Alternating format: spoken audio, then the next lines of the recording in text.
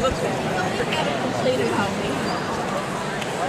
Why you always against one day you're gonna get behind. Your kid's gonna complain about you not knowing how to use technology. I wasn't complaining about that. I was just saying he responded to that same message. Yeah, but if he knew how to use technology, he wouldn't ask you to resend it. I don't know that that's true.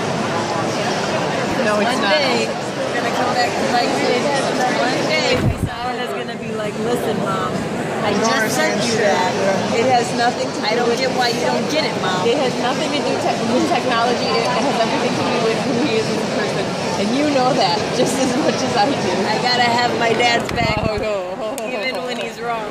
I was at the building today. Hey, I was at the building today. I got your back. I know you're wrong. I got your back.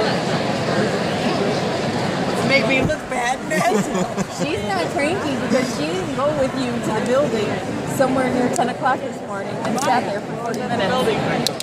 Dad asked for help. And he forgot. And then he forgot. And then he didn't believe me that we were there. Home. He was probably sending me Facebook videos.